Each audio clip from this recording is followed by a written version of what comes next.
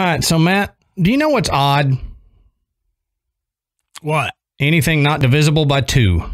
I, I I can I can smell something like that coming.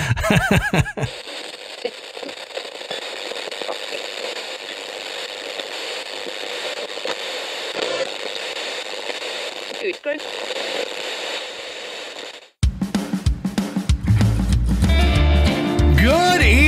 everybody, and welcome to the graveyard. Thank you for joining us tonight. My name is Adam. And my name's Matt. Now, pull up a tombstone or settle into your casket and get comfortable because this is Graveyard Tales.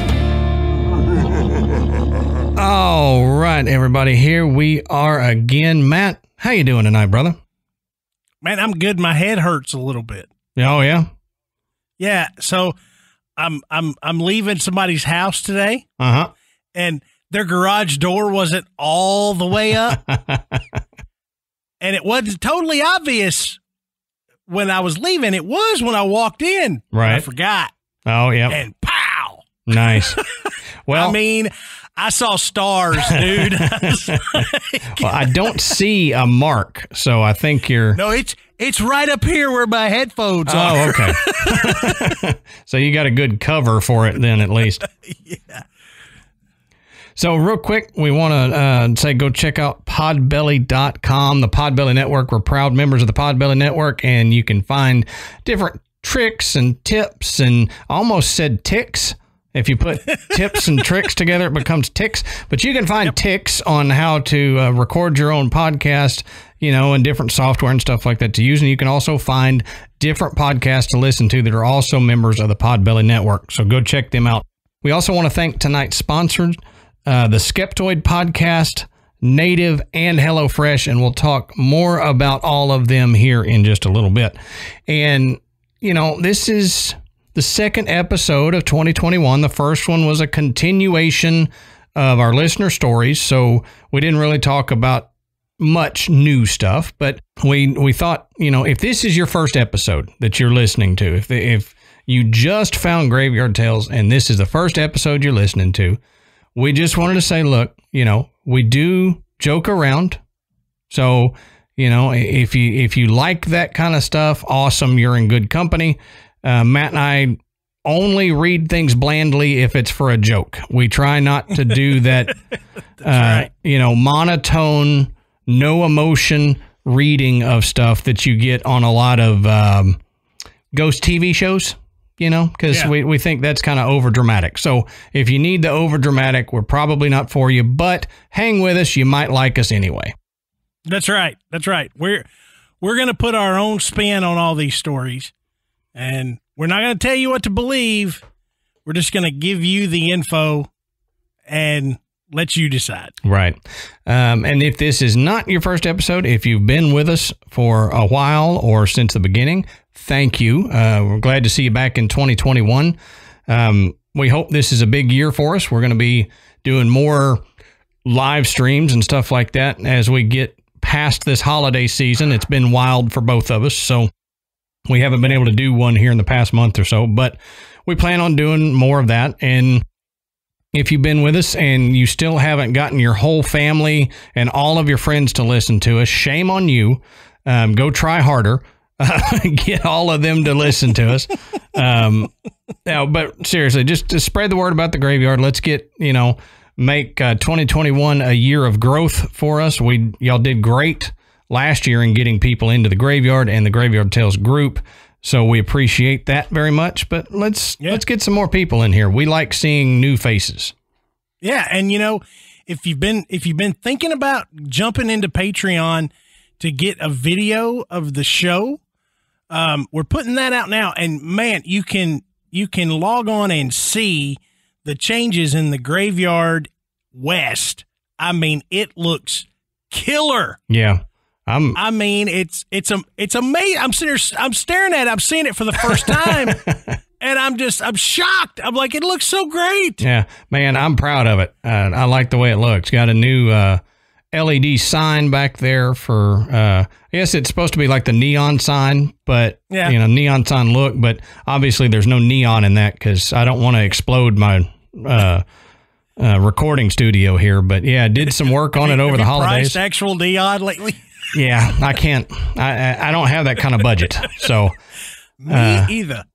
so we got the look-alike on-air neon sign behind us. Um, so I'm I'm happy, and if if you you can watch the progression actually if you go back in our uh, our videos on Patreon, you can watch uh, Matt's Graveyard East change, um, mine change over the months, and we you know always upgrading and trying to make it look better for you guys. Especially once we started the video, we are like, oh crap, we got to make this look decent. People are looking at us.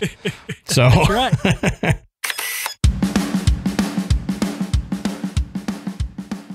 All right, Matt. So let's talk about our first sponsor tonight, Skeptoid.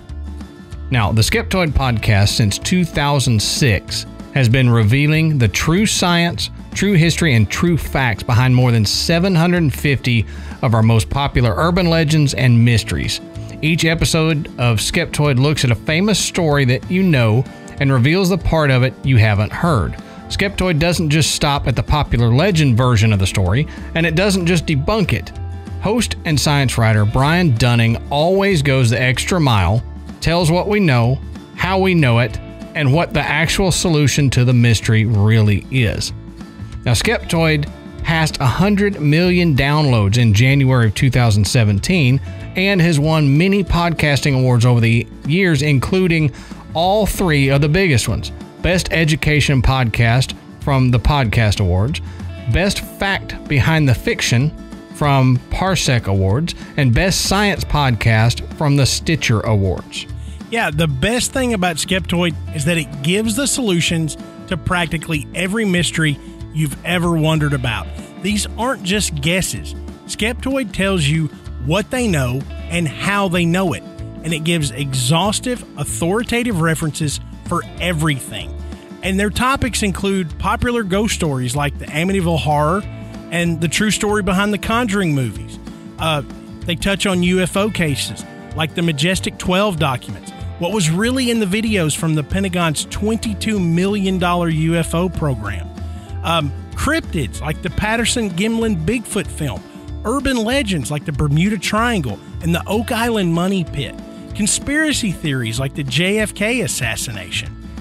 Its content so cool that it has led to three documentary films and six books based on the podcast. That's amazing. Yeah, it, it's absolutely amazing. So go find out why everyone is listening to Skeptoid. Get it wherever you get your podcast. Just search for Skeptoid.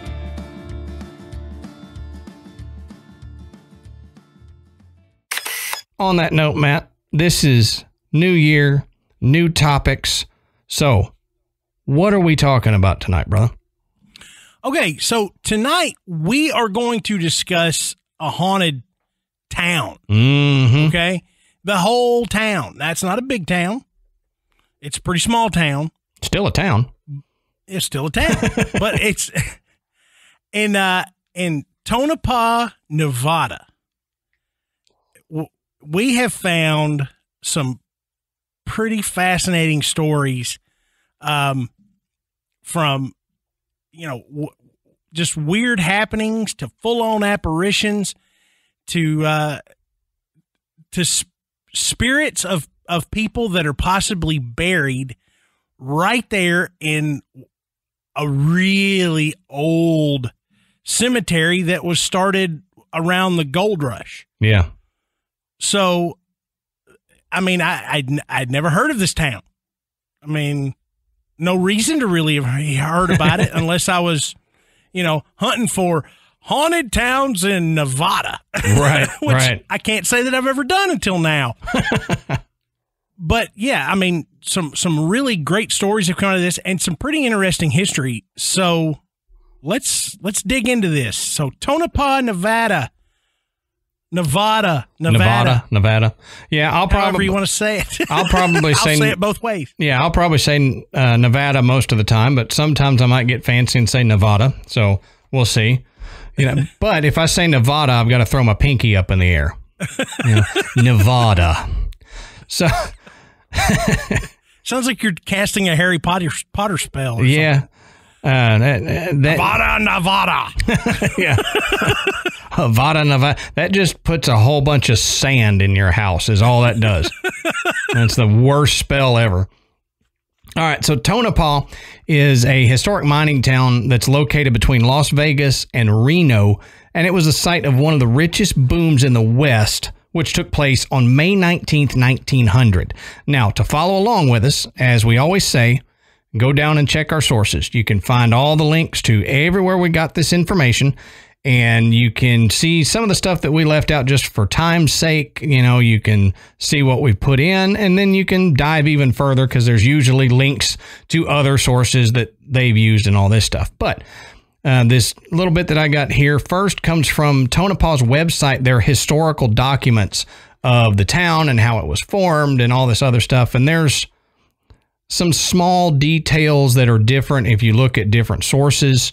Um, but we're going with some of the historical documents from Tonopah's history here. So, Tonopah Springs, um, later the site of one of the richest booms in the West, was an Indian campground for many years, long before Jim Butler spent a chilly night here.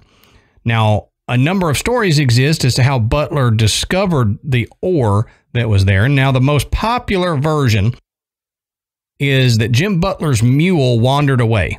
And when Butler found the mule, he noticed an outcropping that appeared to be heavily laced with silver.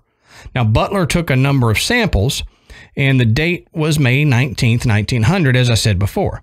Now, this it says that this quiet start belied the actual importance of the discovery. Butler firmly believed he had discovered an important silver deposit, but he had trouble convincing the assayer uh, he visited in nearby Klondike. Now, if you don't know what an assayer is, I had to look that up. It's someone who looks at ore and minerals and determines what they are and if they're worth anything. Yeah. So it's a rock man. Don't, Um, don't feel bad. I had to look it up too. Yeah. well, uh, so the the fancy name for a rock man told him that the samples were worthless, consisting mainly of iron, and he threw them into the back of his tent. Now Butler was still convinced that his find was genuine. So on his way back to Monitor Valley Ranch, he stopped at Tonopah Springs once again to gather more samples. Now back at his ranch, Butler put the samples on his windowsill. Not too much time passed before Tasker Oddie, later to be the governor of Nevada, stopped at the ranch and spied the ore samples. He offered to pay for another assay, and Butler agreed. Uh, and Butler, in turn, offered Oddie a quarter interest of the assay. Now, Oddie heartily agreed, and he took the ore samples to William Gayhart, an Austin assayer, and offered Gayhart a quarter interest in his quarter. So this keeps getting sh- smaller here, apparently. Yeah. Now, this says that Gayhart found an assay ran as high as $600 a ton. So when Oddie was notified of the value of the samples, he immediately sent an Indian runner to Butler's ranch to alert him of the rich find. Now, Butler did not react rapidly. He stayed at his ranch to complete the hay harvest and did not even bother to file claims on the lode site. Which, to me, that's weird. If you've just found out you've got a ton of money that you found, go do that. You know, let somebody else deal with your hay harvest. That's right. This is going to make you a lot more money in that hay. No joke. But, you know, bird in the hand, Right. I guess. I guess so. Now, this goes on to say that news of the, of the discovery traveled to Klondike, and soon scores of eager prospectors were searching around Tonopah Springs to no avail for Butler's lode. Now, Butler finally went to Belmont, and on August 27, 1900, he and his wife filed on eight claims near the springs.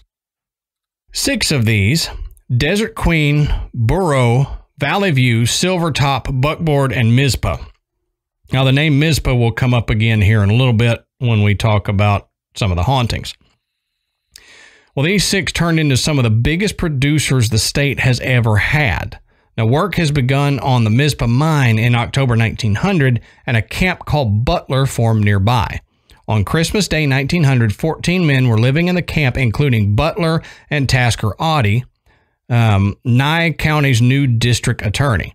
Butler decided to lease out all of his claims for one year from December 1900 to December 1901. Soon the cry of, quote, Jim, how about a lease, end quote, was heard throughout the bustling camp. Oddie and Butler were partners, receiving 25% royalty on all gold and silver mined from the Butler claims. That's a good deal. Yeah, yeah.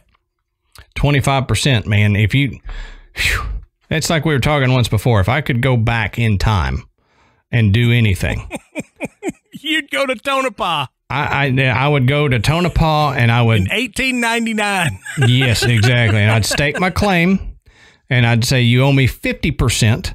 And then I'd take that money and I'd go buy land in Texas. Like I've talked before, I would go buy a whole bunch of land in Texas. Now, this goes on to say that the town of Butler uh, began to grow by leaps and bounds. By January 1901, there were 40 men in the camp. The first stagecoach coming from Sodaville arrived in Butler on March 24, 1901, with seven passengers.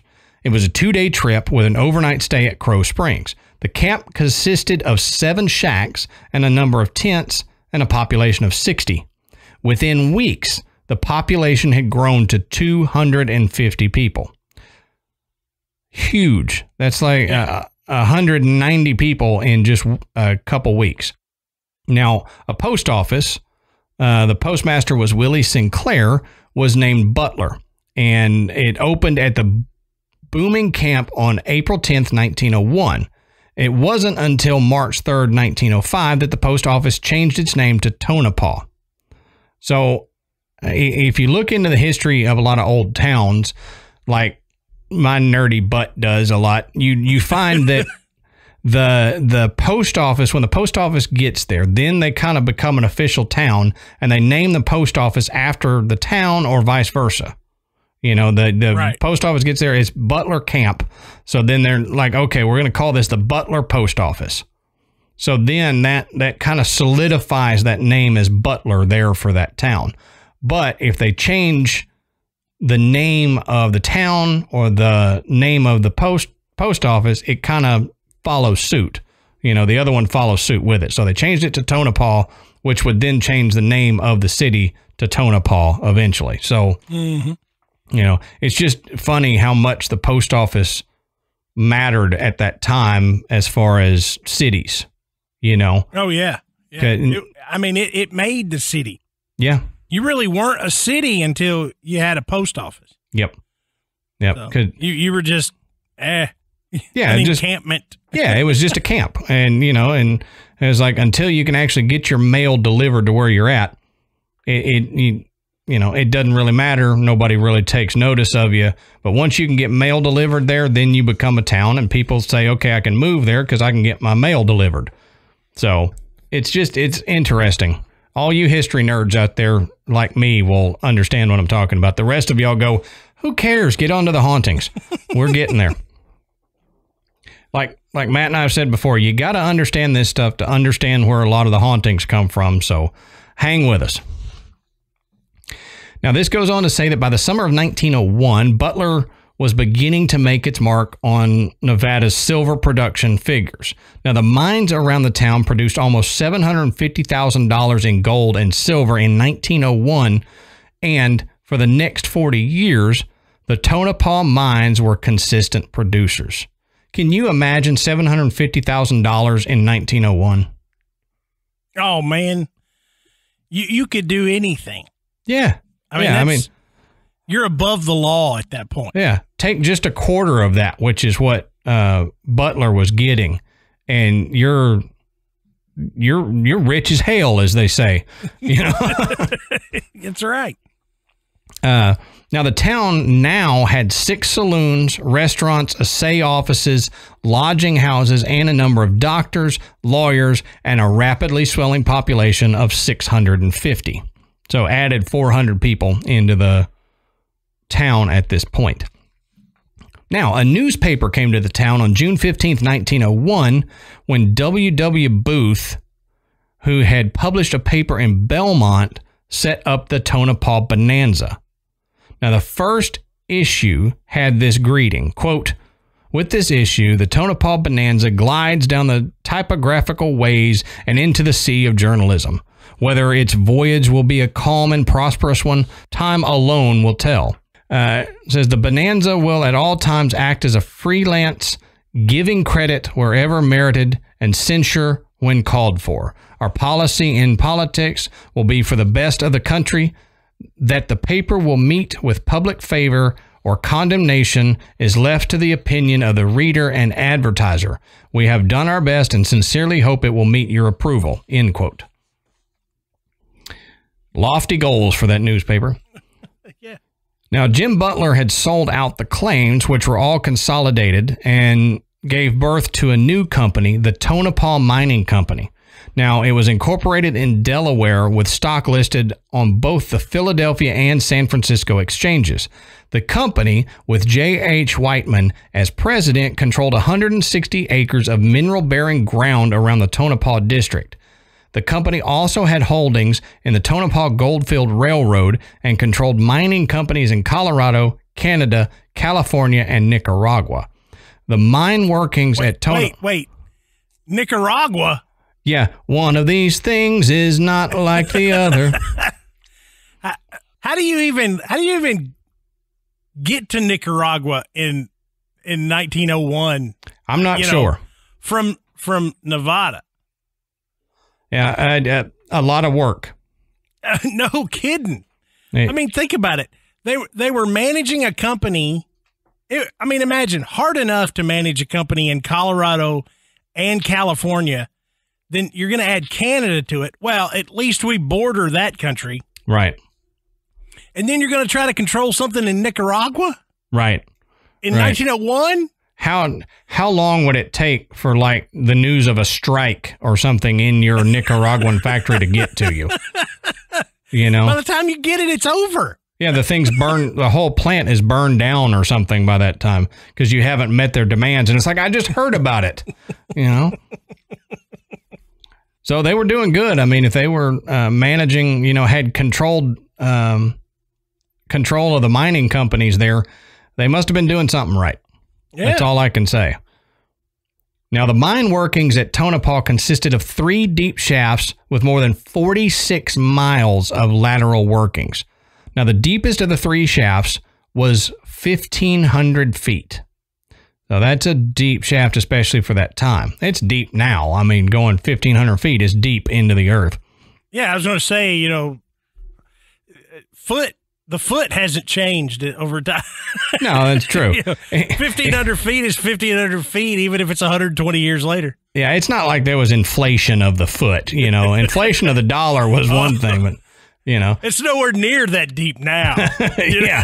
I mean, you know, a foot back in the day was uh, was three inches. Now, you know, I mean, it fifteen hundred feet was just like a scratch in the dirt compared to now.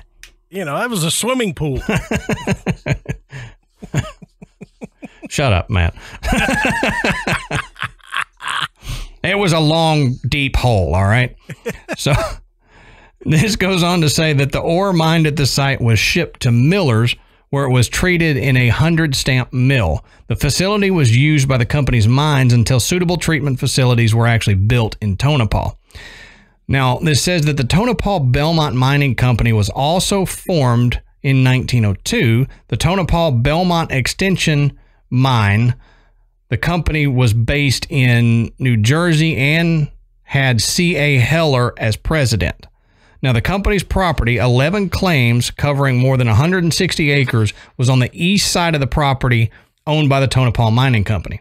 There were two deep vertical shafts, 1,200 feet and 1,700 feet, with workings covering almost 39 miles. So the company, so you're talking about two different mining companies now in the same area. Um, the company also had to ship its ore to Millers until 1912 when its own 60 stamp mill was built in Tonopah. So the mill had a capacity of 500 tons, and during its years of activity, 1912 through 1923, it was regarded as one of the country's best equipped and most efficient silver cyanide mines. Now, Tonopah's mines maintained very high yearly production until the Depression brought a slowdown. Now, mine production from 1900 to 1921, the peak years, was almost 121 million dollars. I mean, Good night. Yeah, think about that. And just between 1900 and 1921, 120 million dollars was pulled from the ground there. That's, I mean, now 121 million dollars is amazing, but that was Right. probably billions of dollars back then. Yeah, they pay quarterbacks that. Yeah, I, I mean, I haven't uh, looked at the conversion rate of the dollar Well- back then. What that But- would have been worth then. Yeah, I should have before this episode, but you know, whatever. It, it would it it would have been worth being able to do whatever the hell you wanted and nobody could stop you. That's a good point. I mean, I mean, let's face it. I mean, you know the the, the magnates of the you know the the first half of the 1900s. When you think of Rockefeller and Hearst, Right. I mean, these guys literally had money to burn. Literally money to burn. Yep. Lighting their cigars with a dollar. Yeah. They were they were the first people to do that. You know, just Yeah, but- light up. and and at the time in the country, you know, those people controlled whatever they wanted to control because they had so much money. Yep. You know, and you look at if- depression years, it was even easier for them to control whatever they wanted because everybody was hurting for money. Right. So you you think about this little small town with this booming mining operation. I mean, as a as a town, this town had to be one of the richest in the country. I mean, they were pumping this stuff out, and uh, they're making money hand over fist Yep. They out in the they, desert. they ended up with two different mining companies there at one point, you know, pulling that out. So you know they were doing well and that they were pulling some some money out of the ground if they were able to get two different mining companies um you know drilling mines and stuff there it was it was amazing And and much like and much like now, you had people that had enough money to wipe their rear ends with hundred dollar bills, Yep. and you had people that didn't know where their next meal was going to come from. yeah exactly Hell, yep the hell is The wrong with this country? I don't know. The people working the working the mines had nothing. The the people in charge, you know, they they were the ones that had all the money, and and the people actually going down in the mines were the ones suffering from the depression. So, you know, oh well, that was 120 years ago. Not that much has changed, but we're we're not going to get into that. That's a story for another podcast, Matt. Yeah, that was those stimulus checks for the miners. yeah, right. so this goes on to say that the biggest single year was 1913 when almost $10 million in gold, silver, and copper and lead was mined. 10 million in one year, Matt. yeah, little did So- they know about the lead. Yeah, right. That that's a bad thing. Put that back. like maybe we shouldn't have mined all this lead. Yeah. See, now if I could go back, I'd say, look, put the put the lead back. You're going to have trouble with that in in Yeah, a we're not to hundred leave years. this alone. Yeah, don't touch that. It's like, wait a minute, people want to make fishing fishing weights with this stuff. yeah. I I understand that, but let's find something different because we're gonna die from it. I promise you. Now, by World War II, only four major mining companies were operating. A huge fire in October 1942 destroyed the Tonopah Extension Mill and property and spread to a nearby hotel, causing $100,000 in damage. At the end of the war, even these companies had left. The final blow came in 1947 when the Tonopah and Goldfield Rail- Railroad folded and its rails were torn up. So they they had a good run, but yeah. all of it kind of came to a close there in 1947. So now that we've talked about the town, let's look into the cemetery that's right there. Because this, I think, like Matt and I were talking, this is kind of the the the focal point for what's happening in the town. Um, this this may possibly be the cause of all the stuff that Matt's going to talk about here shortly. Now, this information comes from Find a Grave. If you've never been to findagrave.com, you actually should. It's very interesting what you can find there, and you can find a grave, just like the site says. It so, sounds like you could find a grave. That's yep. If you're if you're looking for somebody in particular, go to that website. Now, if you need a new car, don't go to findagrave.com. No. Or, you know, find a graveyard. That's that's a whole nother thing, but that's one that Matt and I are developing. Every, no matter what you're searching, it leads back to our website. That's right. so find a graveyard always takes Newest, you to graveyardpodcast.com. Newest so, search engine. Yeah. All right. So this this says that only one person has been interred here since its closure, um, and that was Mr. Coombs in 1996, and that was by his own request. So since this cemetery closed, you know, he's the only one that said, Hey, I want to be buried in that cemetery. Now, this was Tonopah's first cemetery. The old Tonopah Cemetery was started May 7th, 1901, with the burial of John Randall Weeks at the site. The body of Weeks was moved to the new cemetery in 1911, but he was the first one there. Now, the cemetery served Tonopah until April 1911 when, due to the growth of the town and the mining area, expansion was no longer possible, and a new site was then opened a mile west of town. Now, many of Tonopah's pioneer residents are buried in the cemetery, which contains over 300 bodies. Among them are many victims of the 1902 Tonopah plague. So, there, there was actually a plague here in Tonopah, which kind of adds to the energy of the town. As we've talked before, you have all these big things that happen, it's going to leave a residue.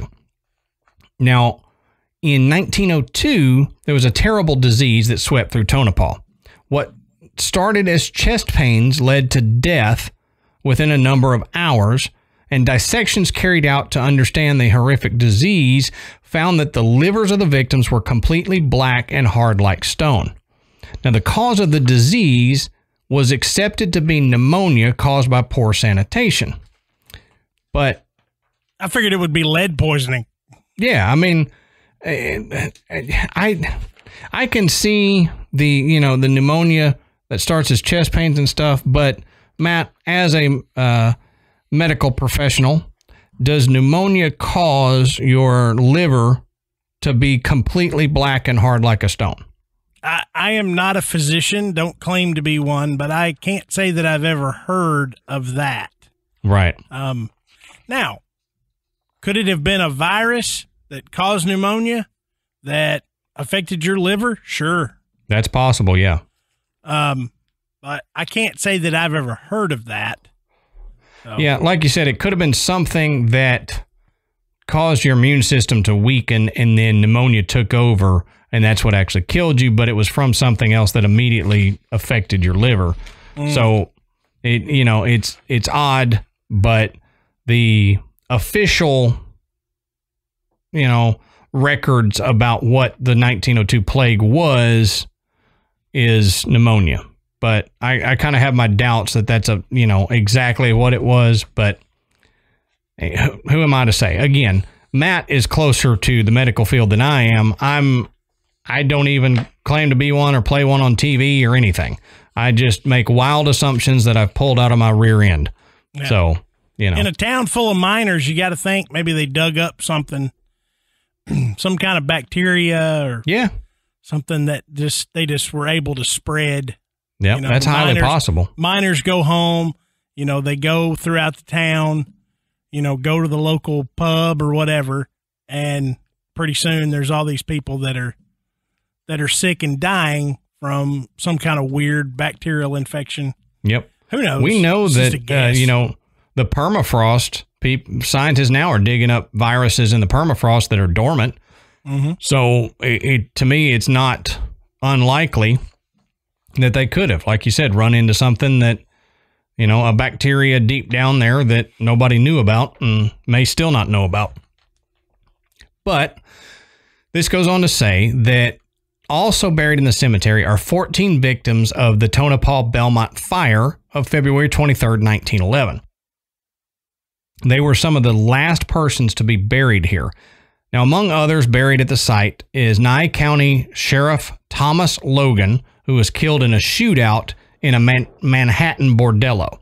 So we've got a lot of violent deaths or, you know, sick, sickly deaths, not just like old age deaths here in the cemetery. So that kind of adds to that energy surrounding the place.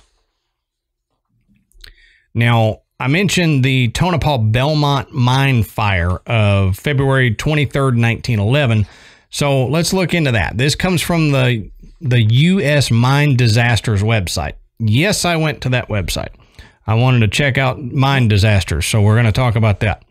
That's not a, a site you want to stay on and read a whole lot, like continually. That's depressing. Sound like it, yeah. No, it, it I I didn't stay on there much after after I read some of the stuff.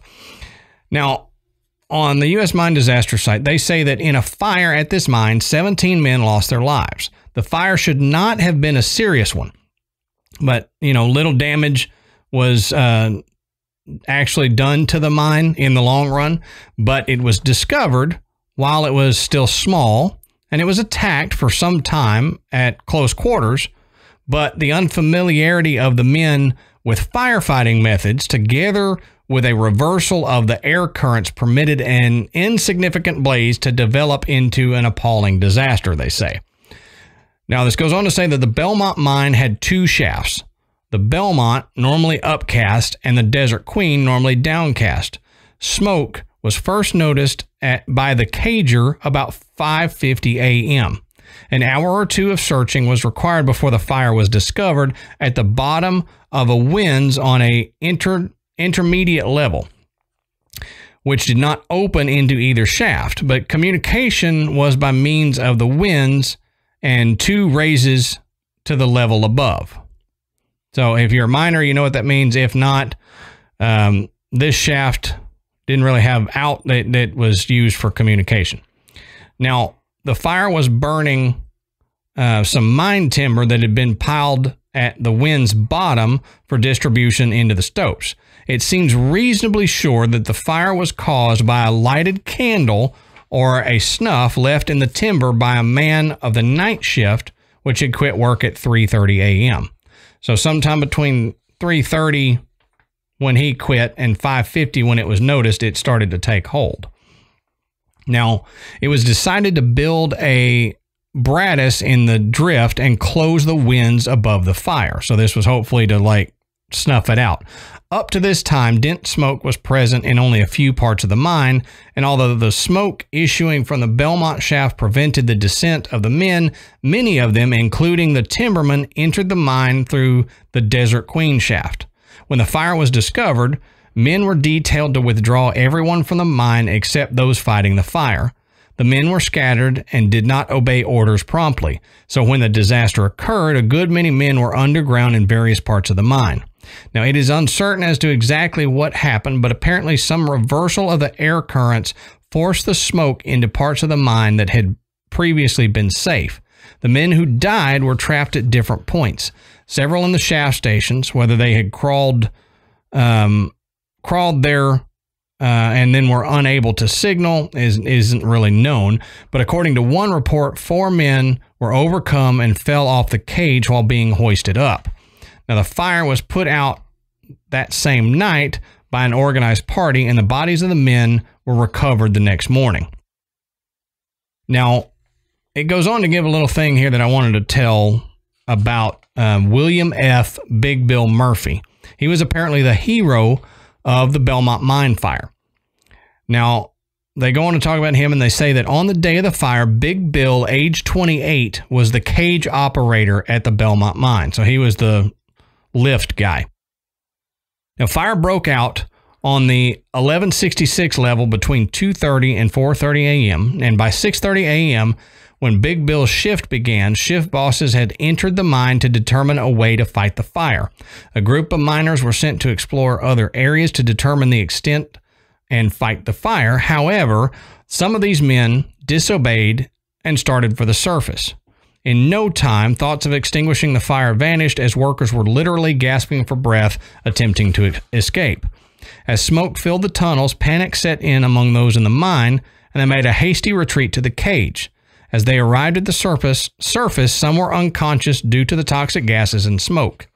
With men still underground, no one came forward at first to descend back into the mine, not wanting to return to the hell from which they just escaped, obviously. Only Big Bill came forward and gave the signal to descend. He first went to the 1100 level and loaded the cage with confused and unconscious miners. After this first ascent, he helped with their unloading and descended again for a second time to bring more to the surface.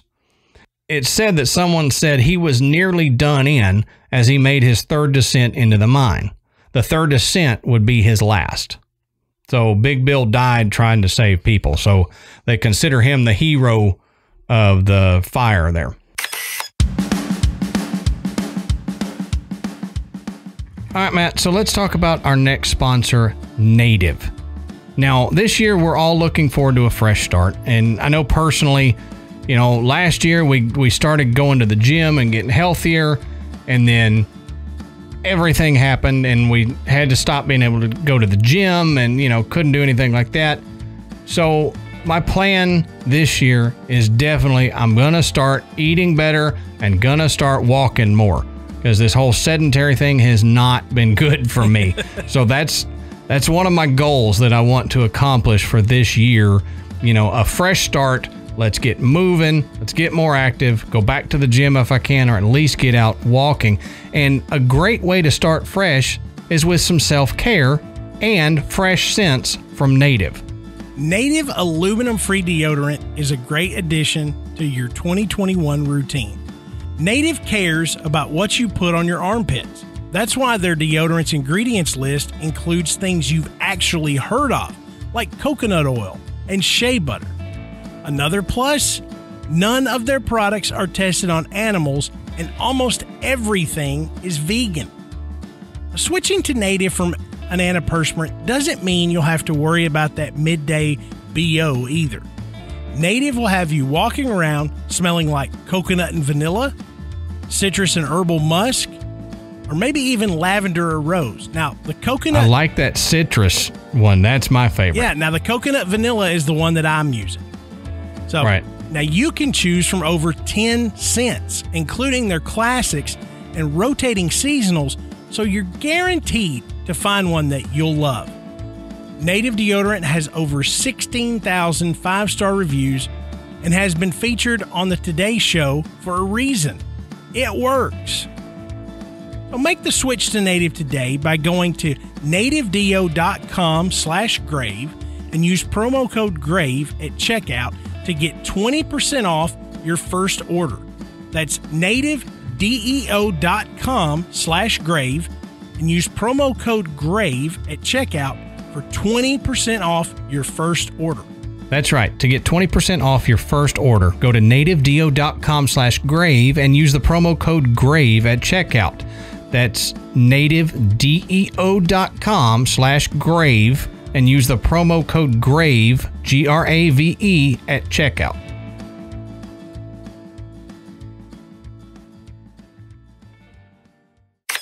So, the last thing I want to touch on real quick before I hand this over to Matt here is the Clown Motel. Yeah, this place. Yeah. I knew about this place, didn't realize this was where it was. Yep. Uh, I think everybody, uh, if you want to see pictures of it, we're posting them on our Patreon page um, the night that this episode drops, so you can go see it. But if you have a fear of clowns or you just think they're kind of creepy like I do, you won't like this place at all.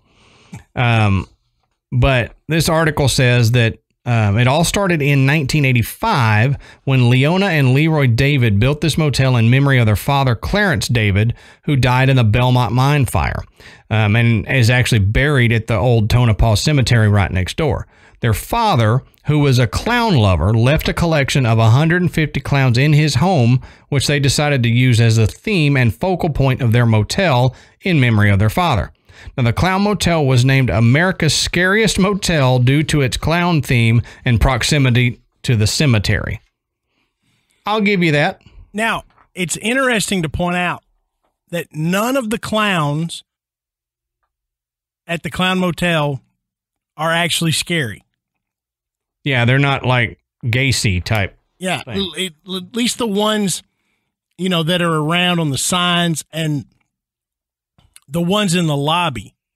You know, they're just regular clowns Yeah, they're not intentionally scary. out in the desert.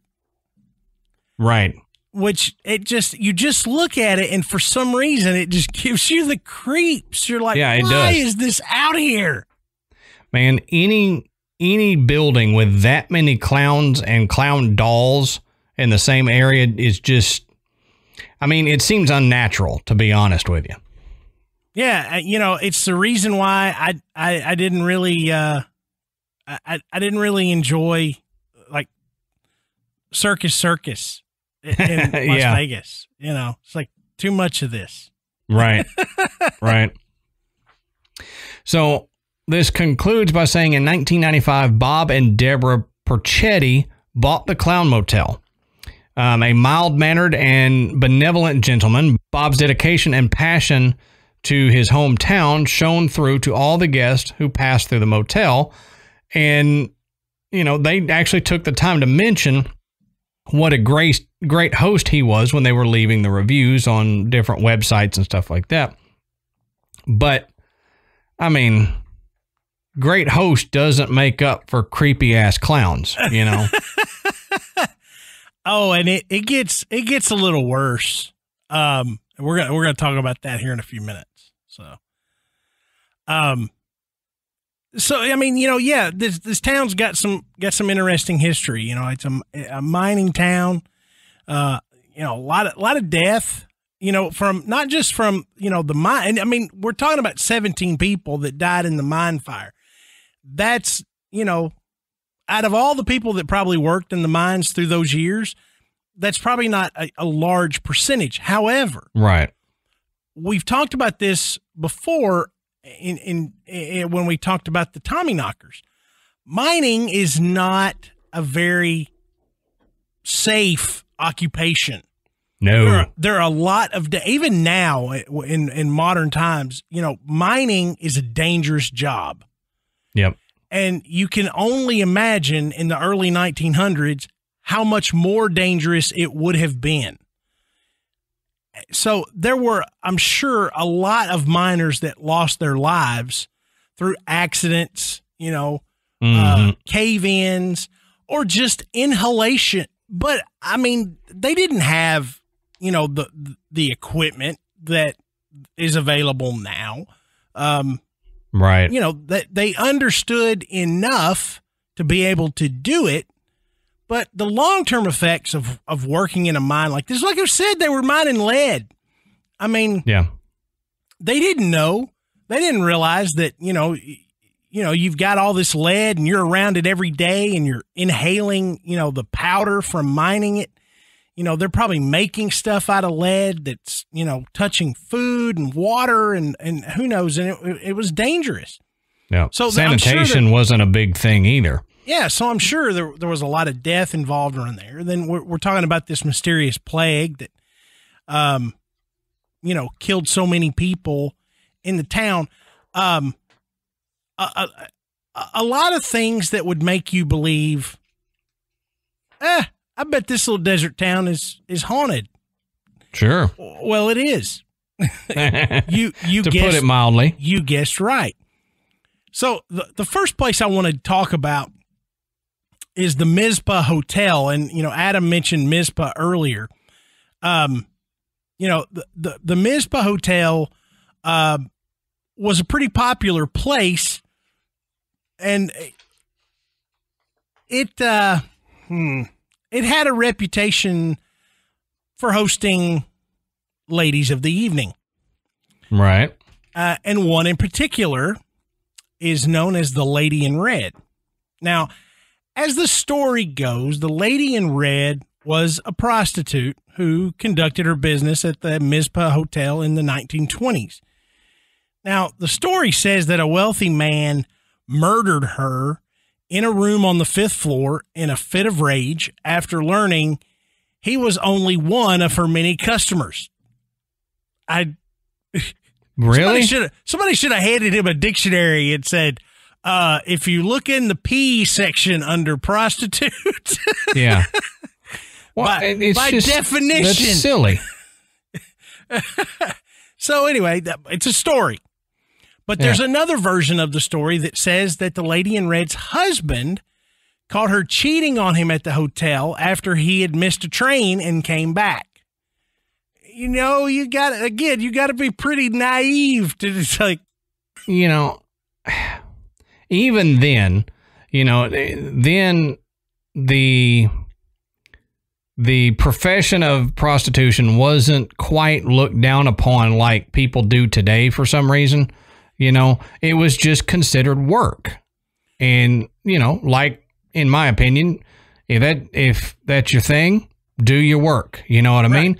But even then they knew what it was. oh so yeah, I don't I don't understand the confusion about what it was. Like you think that dude that you think she's not with other people and so then you fly into a fit of rage and everything.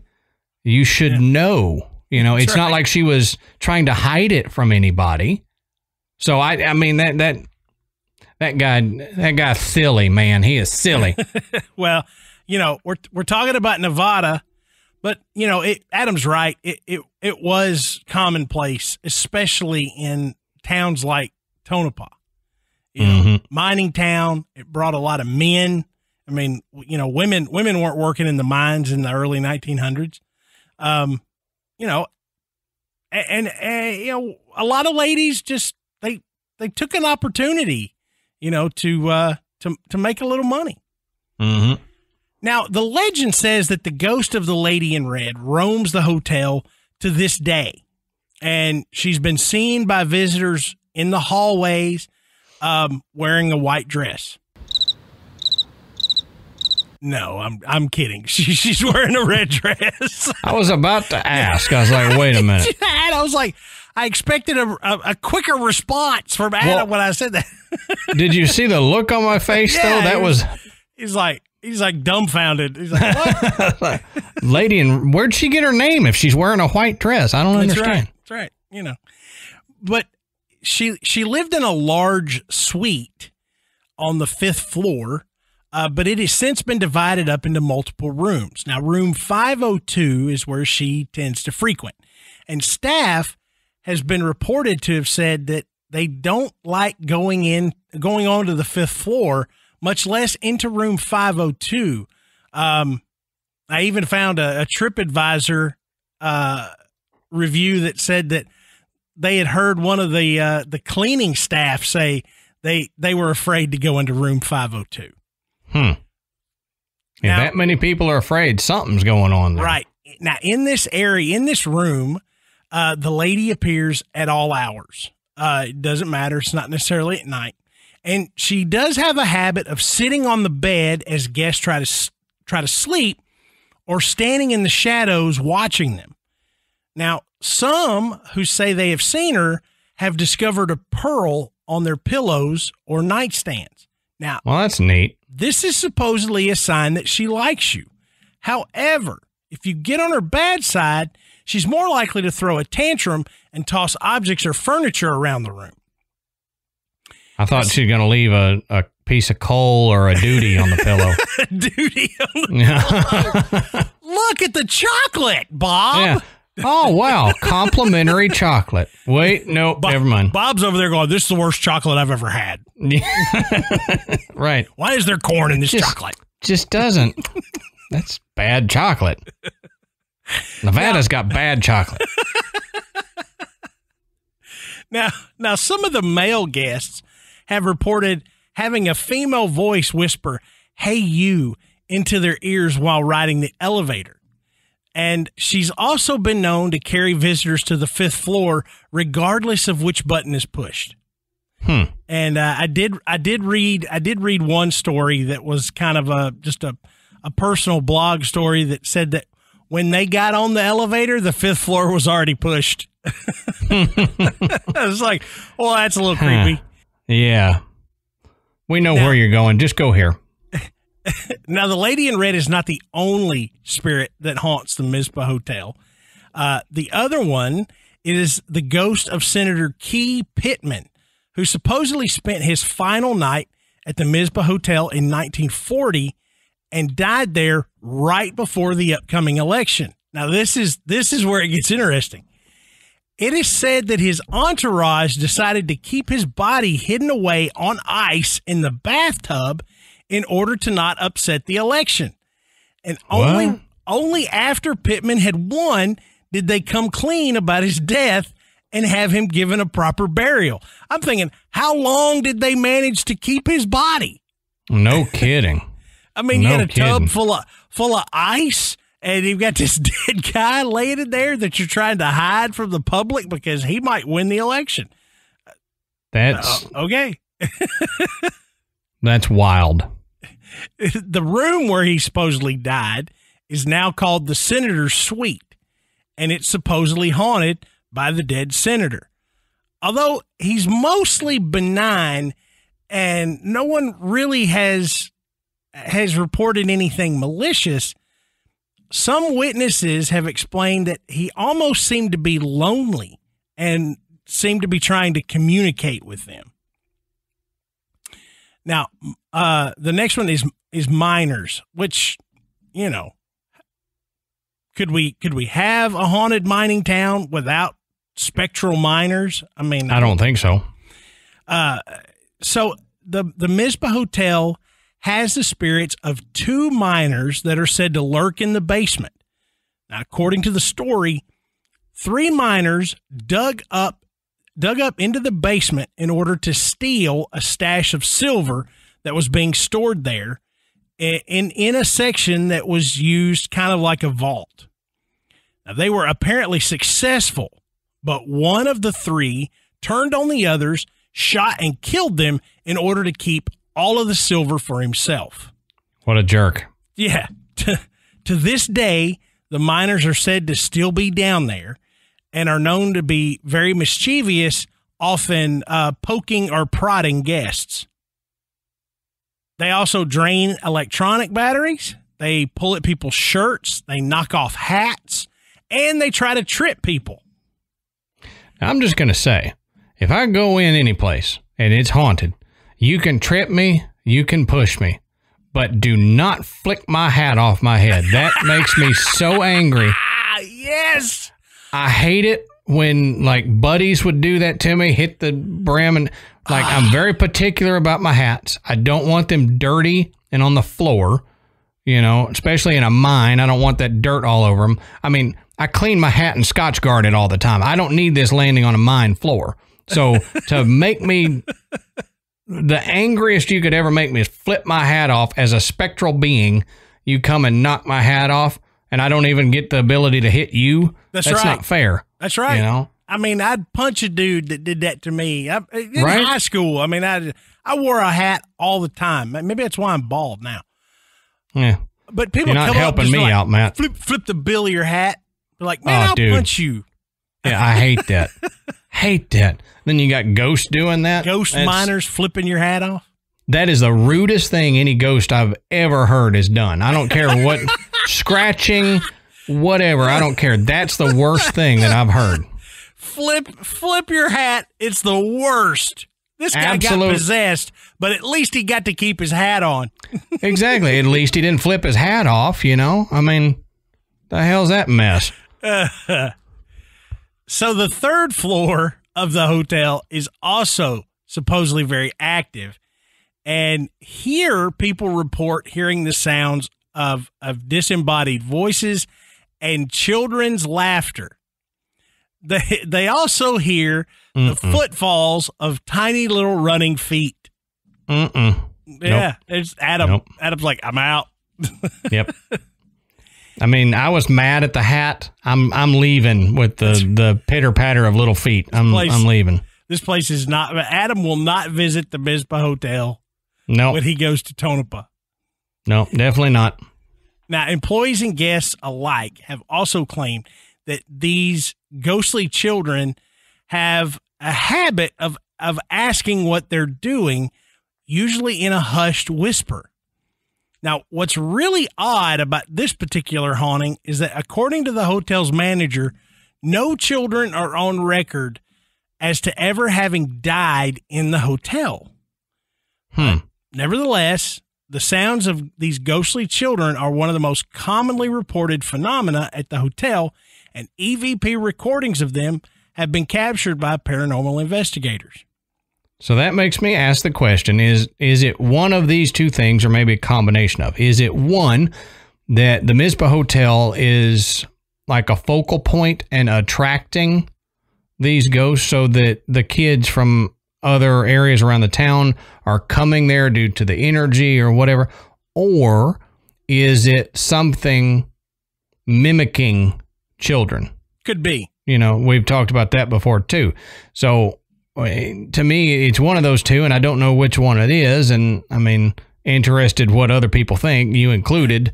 You know, what what is it like a hub or is it like Trickster? I don't know, but can you imagine you're you're working at the hotel or something and it's quiet and you get a, a little childlike whisper in your ear going, What are you doing? Oh, dude, yeah. I'd be like, I'm crapping in my pants. Yeah, exactly. What do you think exactly I'm doing? What I'm doing? Will you quit sneaking up on me? yeah. You caused this.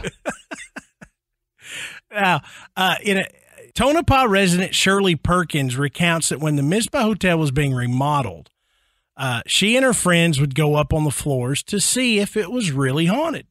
Shirley remembers being in one of the hallways and hearing loud music music playing at the other end. When she reached what she thought was the source, it fell quiet. Now, she also describes a time where she stood outside of a room she knew was empty, but suddenly heard loud knocking on the wall on the other side of the door. Hmm. That'll freak you out. Yeah, it will. And uh, that's a pretty cool interview.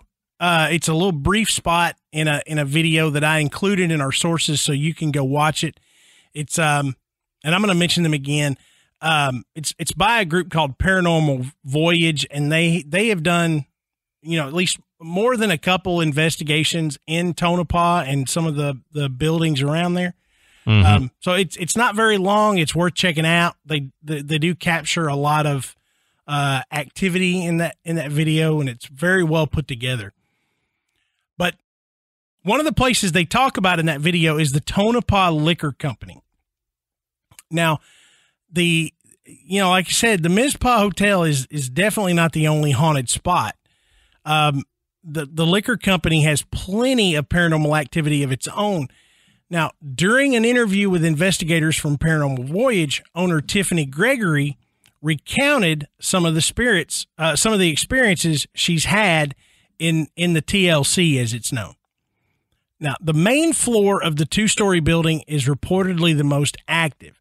Now, Tiffany explains that there is a motherly spirit present known as Hattie. Now, she says the encounters with Hattie have always had a positive vibe. She describes one encounter in particular where she was cleaning the bar and her young son began crying. Now, Tiffany says she was still nursing at the time, and so she quickly finished her tasks and went to wash up before holding her son. Now, she believed that walking away from her hungry child to clean up would cause hysterical crying. But that was not the case. When she returned, she found him looking up and smiling as if someone was standing above him playing. Now, That's creepy. it is kind of creepy, but she says it just it really makes her feel happy that there there's that spirit there just kind of looking after the place. If, if you feel like it's looking after you and your kid, then that that makes it better. But it it's still like you're interacting with my kid, Right. you know, and I can't tell who you are. That's a little creepy. Uh huh. Now, one of the other spirits is that of George, or more properly, George the Devil Davis. Now, Yeesh. Now, George is definitely a prankster. And in Tiffany's words, he gets excited, especially when someone claims to be a non believer. But honestly, she says, it seems like he just likes to mess with people. Now, she recalls one occasion when a blogger visited the TLC for an interview. He arrived with a nice camera and asked if he could take some pictures, But the blogger found that his expensive camera wouldn't work, almost as if it had locked up. So confused, he went outside and surprise, the camera worked. But after coming back inside, Tiffany told him that George was probably messing with him. And now Yeah. the, the blogger quickly discounted that, saying he didn't believe in all that. But as the interview resumed, Tiffany says a cork in one of the tequila bottles suddenly shot out, flying across the room. Which you know, tequila is not is not something that you would expect to blow a cork out of the bottle. It's not effervescent like No, champagne. Not at all. Effervescent tequila, though. What about that?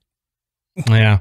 I, I've noticed that tequila makes me blow my cork, but that's a whole nother whole nother thing there. Now, Tiffany has also said that uh, also said that George has been known to throw plates, causing them to smash to the floor. And this particular event was witnessed by Tiffany and her mother-in-law. Hmm. Now, although the majority of the activity in the TLC occurs on the main floor, Tiffany says there are two areas in the basement that have a distinct energy. She says the presence in the corner just gives a feeling of wanting to be left alone. Investigators report seeing shadow figures moving from one area of the bar to the other, often traveling from the main floor down the stairs to the basement. Now, Tiffany says there are areas in the basement that have caused her to feel very uneasy. In particular, the far end of the basement, just past where the last light bulb hangs. Tiffany explains that in in that area, others have reported seeing the apparition of a man standing with his arms crossed, almost as if he were waiting for something. And she hmm. said that his attitude was definitely one of go away. Oh wow. Now, during the tour of the basement, Tiffany asked one of the investigators if she's okay. Now, investigator Celia Ramos said she felt as if something had just slapped her hand. Now, during this investigation, Celia, Celia would be touched again, and during a spirit box session in the basement, a voice could be heard responding with its name, David, and then later, Dave. So it just so happens that one of the owners of the Tonopah Liquor Company in the early 1900s was one David Holland. Hmm. So could that could that be the ghost of one of the former owners that's taken up residence in the basement? Could I be. don't know, but it sure sounds that way. Yeah. Hey Adam, let's take a minute and talk about one of tonight's sponsors, HelloFresh. Now with HelloFresh, you get fresh, pre-measured ingredients and mouth-watering seasonal recipes delivered right to your door. HelloFresh lets you skip those trips to the grocery store and makes home cooking easy, fun, and affordable. That's why it's America's number one meal kit. And you've heard Adam and I talk about Every Plate, another home meal delivery kit. HelloFresh and Every Plate are the same company. Okay? Mm-hmm. We include both because of the variety that you get. So Exactly. you, you choose HelloFresh, every plate, you've got multiple selections to choose from to, to really make mealtime an event. Now, HelloFresh, as I said, cuts out stressful meal planning and grocery store trips so you can enjoy cooking and get dinner on the table in about 30 minutes or less. That's right. And you can cut down on grocery bills and food waste because HelloFresh delivers the pre portioned ingredients so you're not overbuying, which is a burden on the planet and your wallet. And we do that a lot. You overbuy and you think you're going to use it, and you end up maybe only using a small part of it, or you don't even use it because you forget it in your refrigerator, and then you've wasted that money. And when you're cleaning out your refrigerator later, you go, "Oh yeah, I was going to make something with this, and now it's rotten." Right. Well, HelloFresh keeps you from doing that because they only send you what you're going to need. And I know for us, Michael enjoys it. He gets excited when it's a HelloFresh meal and he gets to help, which you know, sometimes he doesn't get to uh, because we kind of don't know what we're doing. We're just throwing all the crap in a pan, you know. But HelloFresh has the the recipe that you can follow, so you can put the kids on prepping vegetables or something like that while you're doing other stuff and cut down the time even more. You know. Yeah, and and my kids get excited when they hear that a, a HelloFresh box is on its way. And we love we love the recipe cards that come with it because Yeah. n- not only are you getting the ingredients where you know you can make this meal perfectly, you can save that recipe card and you can make it again because now you've done it. You know what you're doing. Right, You, right. you know what to buy and, and you know how to put it together and, and make that meal again. But Adam's right. Being able to involve the entire family with more than just making dinner, it, it's like I said, it's an event. It's you know, it's it's a it's almost like a mm-hmm. celebration. The kids are excited because they know they get to help. They know they're going to have something really good to eat, like those Gouda cheeseburgers that we had. Wow, Oh yeah. amazing, amazing. There, there's a citrus like honey citrus chicken that we had one time. You make this like honey citrus glaze to put on the chicken. Jude, we have made that quite a few times, even after you know we uh, did it that first time with the box because we got the recipe, and oh my god, that's like my favorite one. It's it's amazing. So yeah, the the cards that you get to keep really help out, like Matt said. Yeah, so if Adam and I are making you hungry, talking about the delicious food that you can get from HelloFresh, all you have to do is go to HelloFresh.com slash 10 graveyard. That's 10 G R A V E Y A R D and use that code 10 graveyard for, dig this, 10 free meals, including free shipping. That's amazing. Like Matt said, if you want to get the 10 free meals, which is just that that's a lot of food, you can go to HelloFresh.com slash 10 graveyard. That's HelloFresh.com slash 10 G R A V E Y A R D and use that code 10 graveyard and get those 10 free meals and free shipping.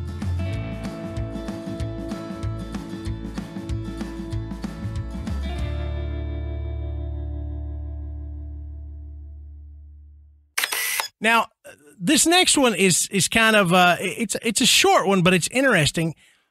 It happens at uh, the Tonopah Historic Mining Parks Visitor Center. Not really a place you would expect to be haunted. So, Not the first place you'd think of. so you might not consider a visitor center to be a hotbed of spirit activity, but it is said that if you look up at the windows, you will see the ghost of Bina Verrault looking down at you. Now, who's Bina Verrault, you ask? I'm, Who's Bina Verrault? I'm I'm glad you asked that question. Now, Bina Verrault was from New York, and she made national headlines after her and a friend made a pact to become wealthy widows and collected clothes and jewelry to today's value of over 2.5 million from the men that they had seduced. Ah. Now, Bina went on the run and ended up in Tonopah, where she died of alcoholism. Hmm. Interesting. That is interesting. I mean, I guess if she you just was- got to get away, Tonopah's as good a place as any. Yeah. but I mean, if you think about it, she's seen at the visitor center. She died there as a visitor. Maybe there's something to that. Maybe, maybe the visitor center sits on a piece of property that was something else at one time. Yeah. Now, so we we would again be remiss if we didn't discuss, you know, the most well known, haunted or otherwise, locations in Tonopah, the Clown Motel, as Adam talked Mhm. about earlier. Now, guests have argued over whether or not the hotel is actually haunted, but if you have a fear of clowns, this might be hell on earth for you. Uh, I've known people that were afraid of clowns, and you know it is bizarre. I mean, I don't think I've Yeah. ever been afraid of clowns. I've thought that clowns can be creepy in the right circumstance, but never Yeah. had to fear. I'm not I'm not actually afraid of clowns, but I I do find most of them creepy. because I always have that thought: what are you hiding behind all the mask, uh, behind all the makeup? You know, um, and then ever since Gacy and his That, whole yeah. clown thing, that adds that creep factor to it because you can't tell exactly who they are. Mhm. Maybe they're fake smiling. You know, for some reason, there's a, a creep factor to me about clowns, but I'm not like I wouldn't say I'm afraid of them. Yeah. If that makes sense. Yeah, no, it makes perfect sense. I agree with you. Now, the hotel lobby boasts over 2,000 clowns, Yeah. all, all staring at you as you check in. Now, Mm. the current owner, or as he prefers to be called, the CEO of the Clown Motel. Now, I'm probably I'm, I'm probably going to mispronounce his name, um, but the best I can figure from looking it up, it is Hame Anand, and uh, his family is uh, a Las Vegas uh, hotelier. They they own other Right. hotels around the world.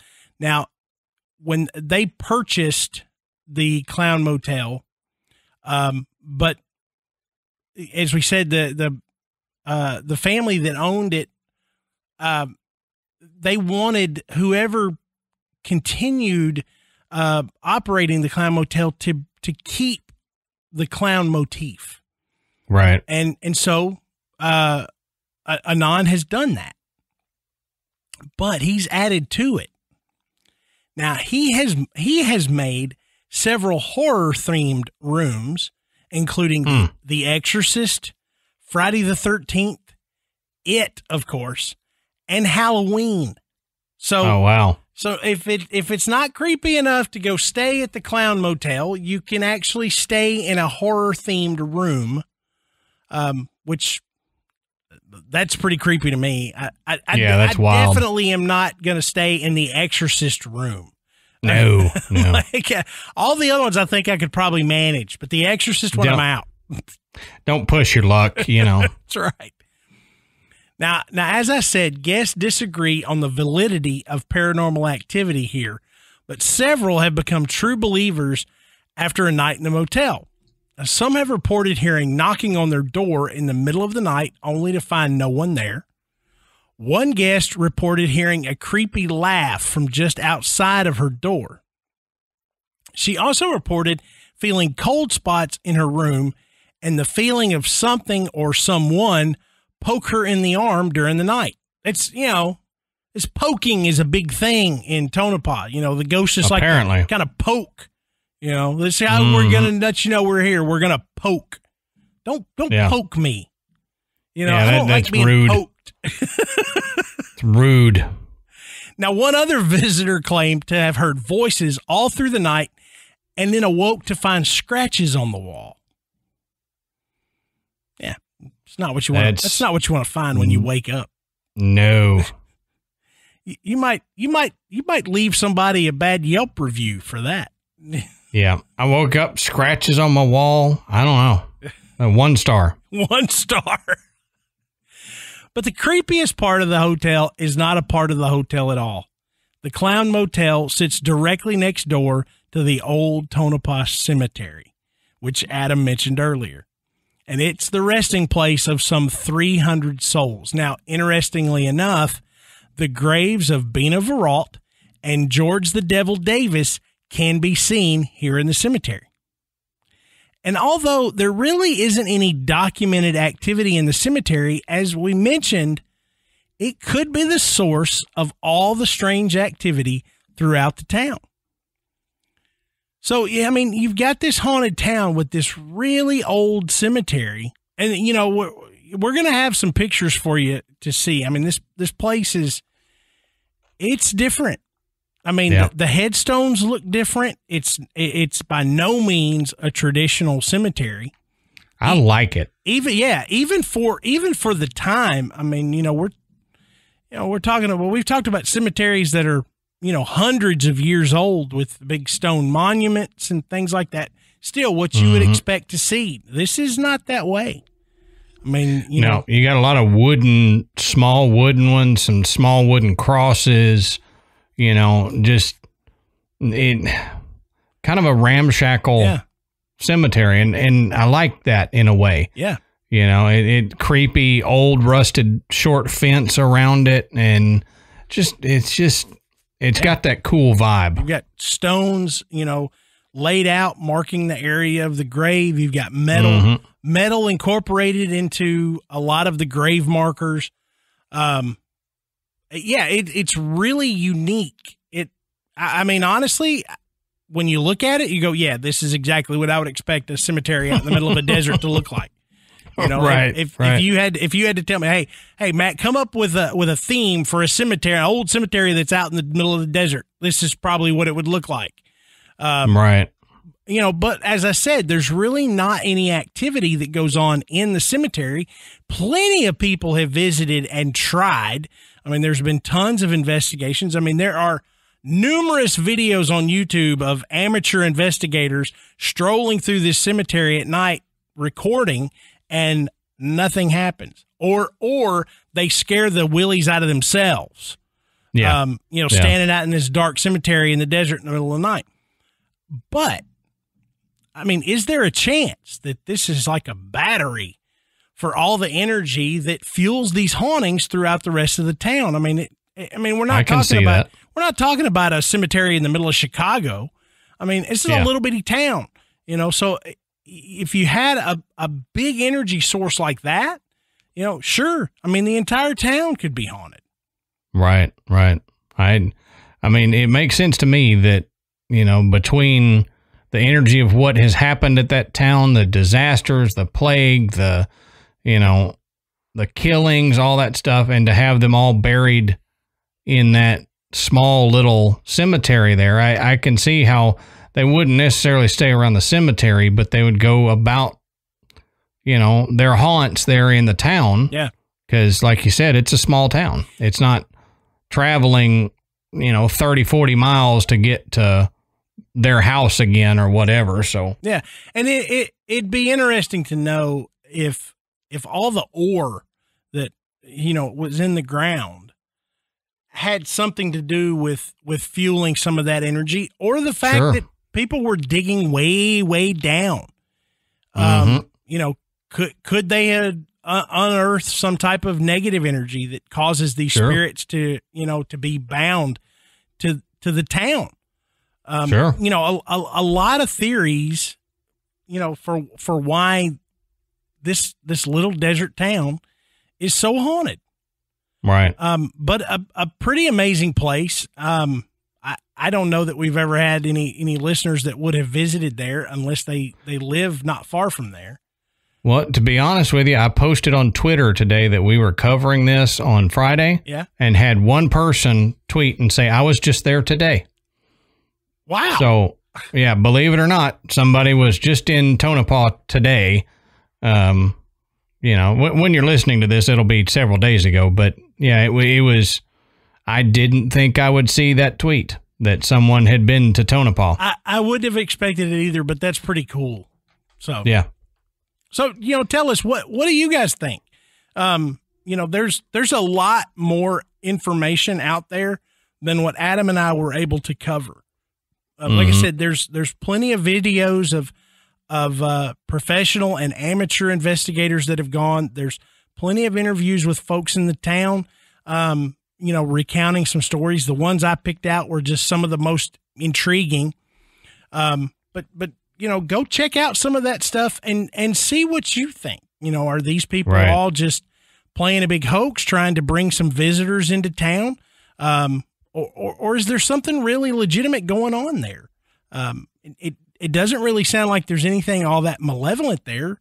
You know, it doesn't sound like you know a big dark shadow just hovering over the town. It just sounds like that a lot of these spirits never left. yeah, just hanging out. So let us know what you guys think. Um, you know, you can join our Facebook group and let us know in there, or email us, or you know, drop us a a voicemail if you want to. We got a voicemail you can call and leave us a message. Um, you know, any of those ways, reach out and let us know what you guys think. Yeah, absolutely. And don't forget to go check out our website. It's uh, graveyardpodcast.com. And on our website, uh, you can find links to purchase Graveyard Tales merchandise. Uh, you can find out a little bit more about Adam and myself. uh, you can listen to the show and you can become a patron. And we always take a moment to thank everyone who has donated to the show because it, it really helps us keep going. It allows us to put out more and more content more frequently for you guys. Don't mm-hmm. forget to go and rate and review us on iTunes because that is the way we come up the charts, which just makes it easier for people to find the graveyard. Right. So until next time, we'll save you a seat in the graveyard. See you soon.